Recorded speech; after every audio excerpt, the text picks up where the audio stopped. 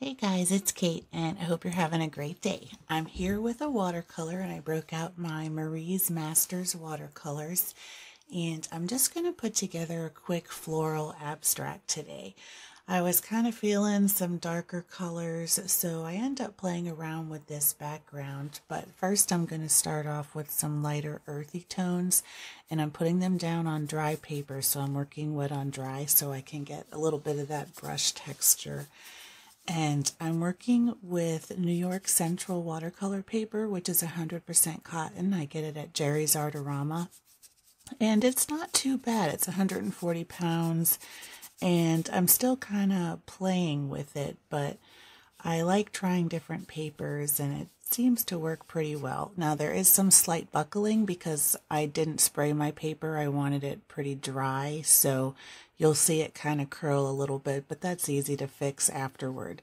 If you want, you can also spray both sides of your paper, work wet and wet, and then you won't have that buckling uh, while you're painting.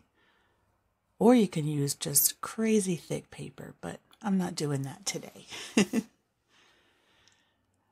so I, I was just kind of playing around with paint and I wanted to add some blues and darker colors. So I'm just having fun adding some sort of blue towers to my painting.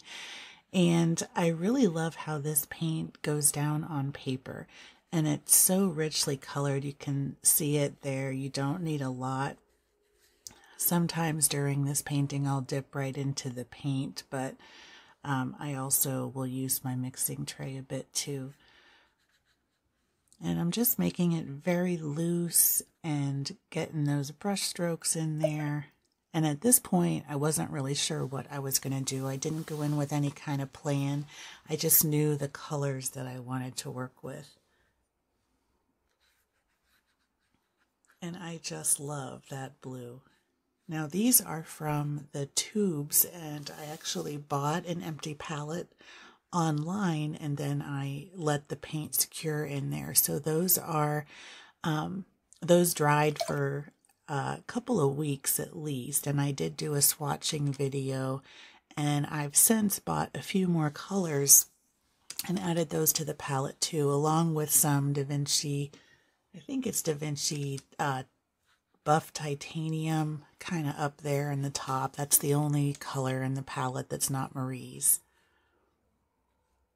And from my understanding, there's two kinds of Marie's watercolors. You've got your uh, regular student grade, which I hear are not very good, and then there's the Marie's Masters, which is um, supposed to be very good. I really enjoy using them, and I haven't used a lot of professional watercolors, but you can see how they perform here, and I just love using them. They do feel different than some of the other watercolors I've used, and they just go down really nicely on the paper. So I'm kind of putting in some water or watercolor flower petals in different areas and I'm kind of double dipping my brush to get some color variation but you can't see it too much just because it's it's very dark anyway. So I'll end up going back in and adding some some other color to it. But I love that purple. It's beautiful. I'm just finding some areas to put things and I've got this mix of uh, purple and blue going on.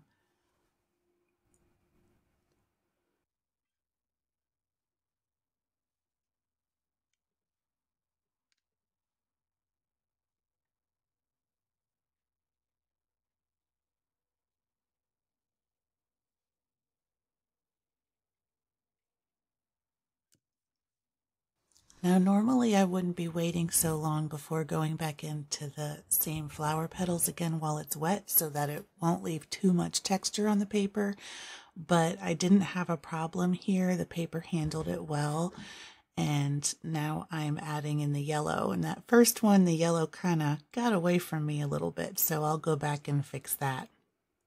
There's actually a couple of fixes in this project today, so um, you'll get to see what I do for both.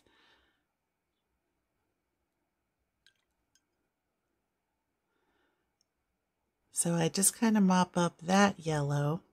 But you'll also see here as I'm adding my flower stems, I got a little bit distracted at the time when I was painting. And so I accidentally put this brush stroke of black sort of just on the paper, but to the side and end up adding some, just, just going with it and kind of turning it into part of the painting.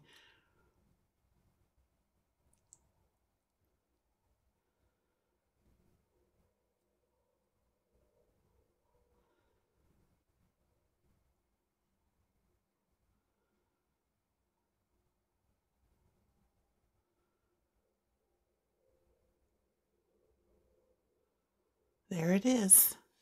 so I'm sitting there like, what should I do? So I just kind of put in some new leaves and grasses coming up and just making it more, um, more marks. And I actually really liked it, so it was a happy accident, like Bob Ross would say. and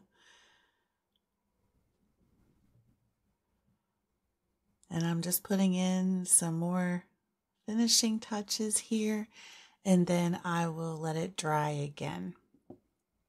And I am going double time here for speed just so that I can keep this video shorter and you don't have to watch every single step full full time. But I'm just making sure my leaves are nice and dark and then I end up adding a couple of little ones to the top too, just so that um, I can have it kind of continue a little bit in the different spots. But those ones I make a little bit of a lighter gray color and I don't get so heavy with that black. And then I'm also going to add a little bit of yellow just for some extra pops of brightness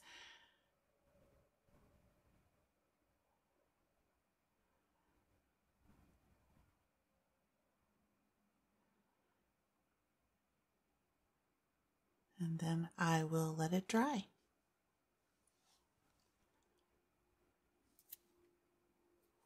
So once it dries, I wanted to add some more um, definition to the flower petals.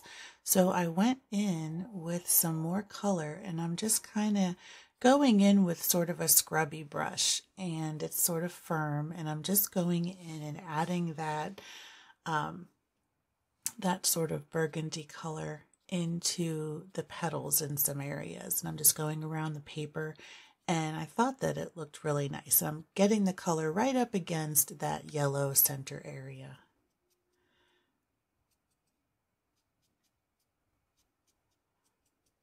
And it just kind of warmed it up a little bit.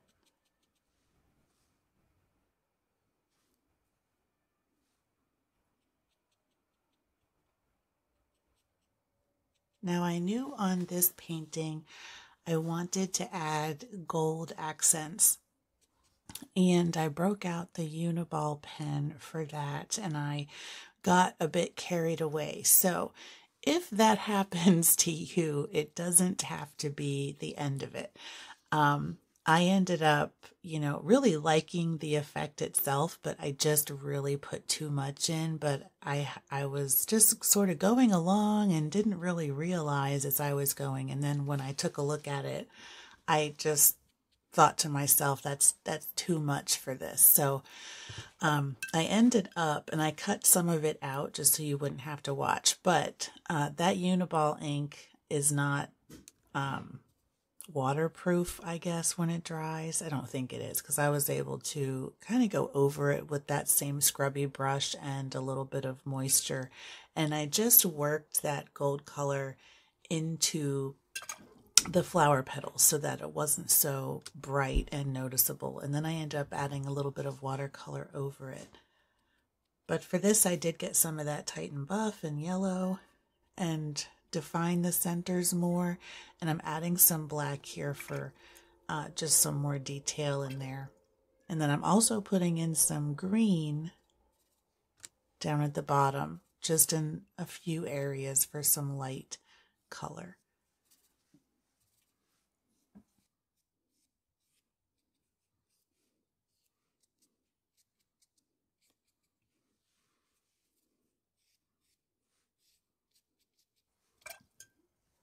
So now I'm going in with that gold mark or gold pen and I loved the look of it and I'm really happy with how opaque it is and how well it covers the dark.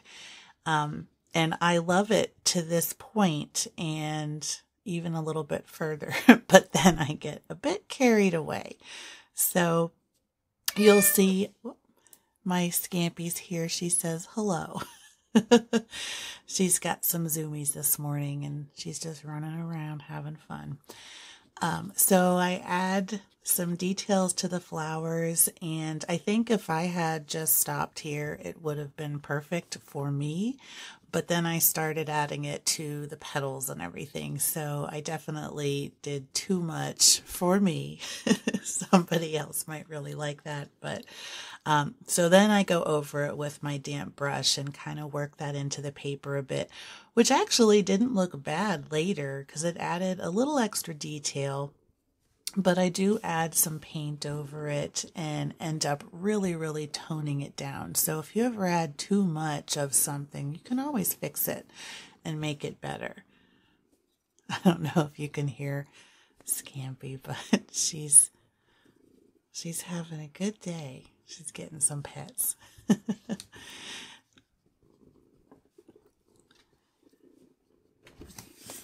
oh, all right, girl. so anyway, um, I'm just finishing up covering that up and then I'm going to pull it up and do a close up and you'll be able to see the toned down marks versus the full strength. And it actually added some nice variation and I ended up really enjoying how this turned out. So I hope you enjoyed this video and until next time, keep creating.